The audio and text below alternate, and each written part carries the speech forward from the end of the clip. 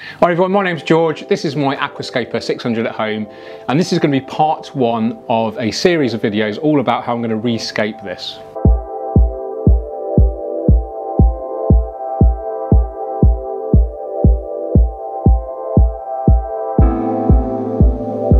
I asked you guys on my YouTube community tab, Facebook, Instagram, I did a poll and I asked you, would you like me to rescape it or just keep maintaining it?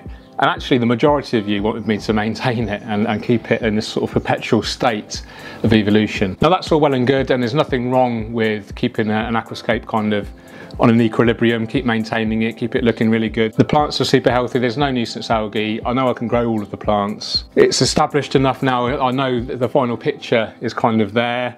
So actually from a from a personal perspective, as a, as a hobbyist, it's not actually too much for me to gain by continuing to maintain it. So I'm a huge fan of trying out new ideas, uh, trying out new plants, and just, you know, pushing myself and stretching myself to become a better aquascaper. And I think one of the best ways to do that is to create new aquascapes.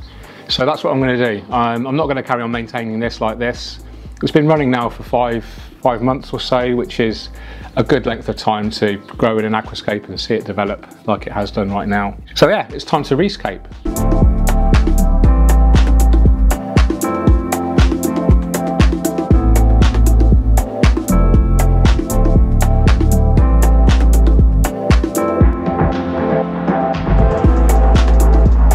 So what is a rescape? Well, a rescape is basically just creating a new aquascape from maybe some materials that you've already got in here.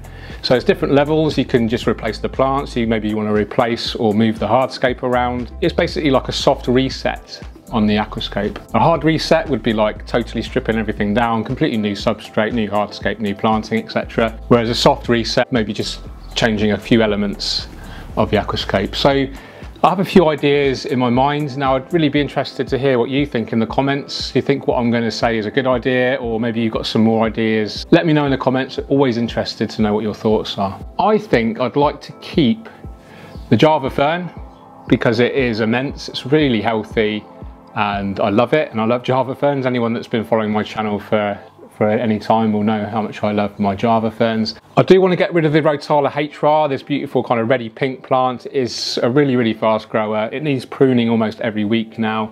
You can see it's kind of choking everything. So I want to get rid of that because it is, it is high maintenance and I don't unfortunately have enough time to maintain it to what it deserves. Definitely want to get rid of the Helanthium tenellum carpet because that is just a brute and it needs thinning out every week. But I really like the hardscape, I really like the ferns and I love the crypts huge fan of crypts as well. So I think, unless you guys convince me otherwise, I'm gonna keep the Java Fern, I'm gonna keep the crypts, and I'm gonna keep the hardscape.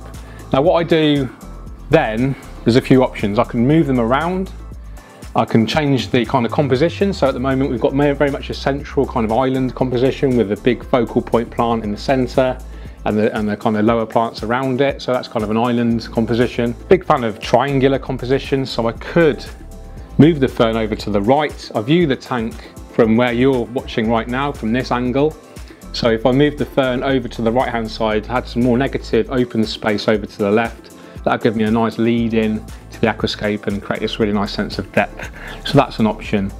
Um, the crypts will be very mature, the, the roots will be really established and, and, ripping them out and moving them will cause a lot of disruption, but that's no problem. Um, might experience a little bit of crypt melt after a move, um, but the, the crypts will soon grow back because they're in optimum conditions. So there's a few options I'm going to consider carefully and I will honestly guys I'll always read all of your comments so please let me know what you think and it will give me some more food for thought.